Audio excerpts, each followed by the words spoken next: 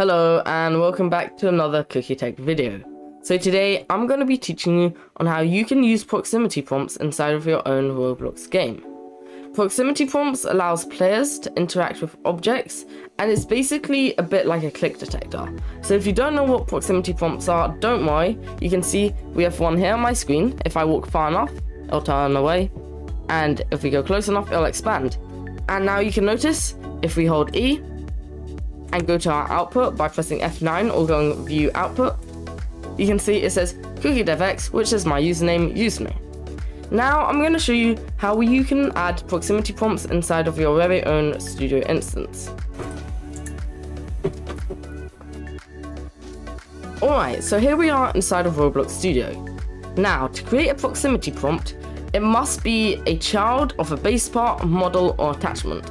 So today, I'm just going to be using a base part, so it's super simple. And we're going to click on part. We're going to move it up a little bit. And then we're going to anchor it.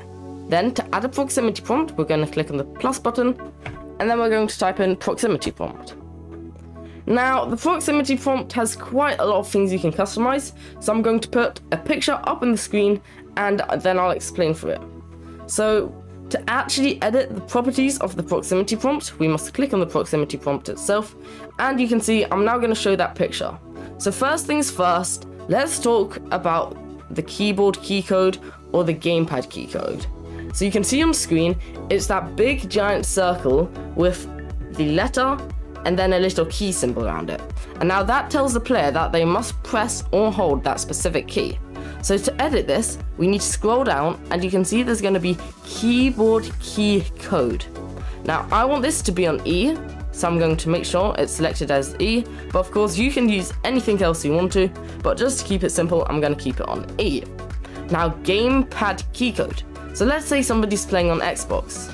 You can also select which gamepad key can be used in order to initiate the proximity prompt. Um, on default, it's set to button X, so I'm just going to keep it on that. Next of all, we have object text. So we can find that by scrolling down a tiny bit. If we can't find it, we can always search it. And you can see there it is. And now object text is an optional name for the object being interacted with. So I'm just going to set this to part, so we know that we're touching the part. Now, let's talk about the action text. So this is a little piece of text that shows up. It's optional, and basically, in short words, you can explain to the user what this proximity prompt does. So let's head back, and let's have a look at action text. By default, it's set to interact. Now, I'm going to keep it set to interact too. Of course, you can customize this. So for example, if it was a door, you could set it to be open. If it was a light, you could set it to be lit. But you can do all of that other stuff. Now let's actually get into a little bit of the other stuff. So, visibility. Now, there are a few things you must know before you start scripting your proximity prompt. There is a max activation distance, and this means the user must be in a certain proximity of something to use a proximity prompt. So to edit this, we can go to max activation distance, and these are measured in studs, I'm going to keep it at 10. So that means you must be at least within 10 studs to see the proximity prompt. And now the next thing, we have the requires line of sight. Now this means there must be nothing blocking the path of the proximity prompt to see it. So you can set this to be on or off. It depends on what your personal preference is. So, depending on how you can set it, people will be able to see it through walls. If not, they won't be able to see it. Now, the interactivity aspect of this. And as you can remember, I had to hold it down for some time. So let's go to hold duration. And now you can set this for how long. So if it's set to zero, as soon as the user presses down on the proximity prompt, everything will be fine. I'm going to set it to be three so you need to hold down the proximity prompt for 3 seconds for it to work. Now, let's actually get into some scripting. So let's click on the plus button of the part, and then let's add a script. Now we're going to create a variable, and we're going to define the proximity prompt. So we're going to say local proximity prompt 1, and then we're going to say script dot parent, and then we're going to say dot proximity prompt. Great. Now to detect when a proximity prompt is triggered, we can actually use the triggered function. So we can actually just say proximity prompt one. So when it's triggered, connect function. And now we can also get the player by typing in player. And we can get the player object that used the proximity prompt.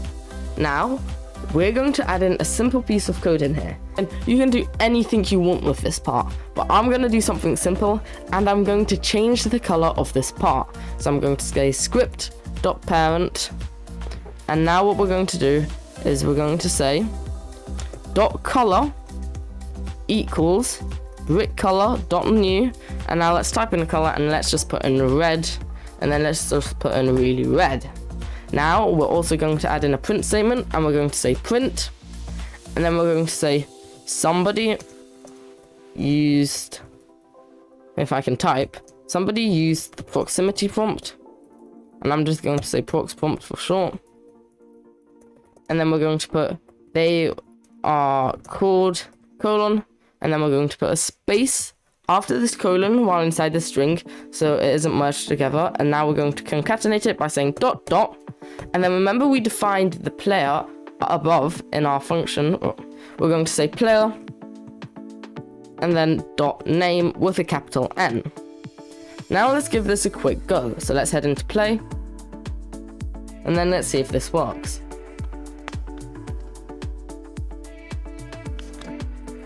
And as you can see to that, if we hold E, takes one. Ah, looks like we've had a bug. Let's see what's happened. Unable to assign property, color, dot color 3 expected, got brick color. So it turns out you can't use brick color here, that's completely fine. We can actually just say color 3 dot new and then in here we can put a color so I'm going to set it to be white 255 255 255 you can also use this color wheel by clicking on this button and then you can mess around with that. And now let's see if that works so let's click play.